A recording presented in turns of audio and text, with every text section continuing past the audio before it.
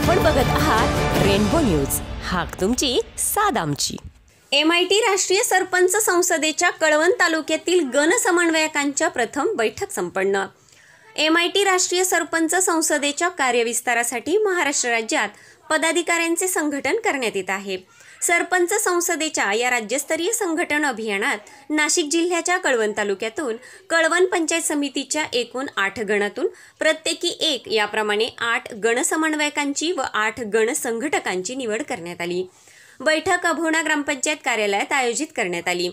M I T राष्ट्रीय सरपंच संसदेचे प्रमुख समन्वयक श्री योगेश पाटील व सहसमन्वयक श्री प्रकाशराव महाले ग्रामविकास तज्ज्ञ समिती समन्वयक माननीय श्री बाजीराव नाना खैरणार नाशिक विभाग समन्वयक माननीय श्री संजयजी भांबर जिल्हा समन्वयक माननीय श्री दिलीप नाना मोरे नाशिक. हे या बैठकीत नवनियुक्त गण समन्वयकांशी संवादात्मक चर्चा करून गावाच्या विकासासाठी आपण कुठे कमी पडतायत यावर मार्गदर्शन केले. यावेळी एम आय टी राष्ट्रीय सरपंच संसदेचे कळवण तालुका समन्वयक श्री योगेश चव्हाण सरपंच माणूर व कळवण तालुका संघटक सौसुनीता राजेंद्र पवार सरपंच अभोणा यांची तालुक्यातून वरील पदावर नियुक्ती करण्यात आली. रेनबो न्यूज करता देवेंद्र धुमसे अभोणा. आपण बघत आहात रेनबो न्यूज. हाक तुमची साद आमची.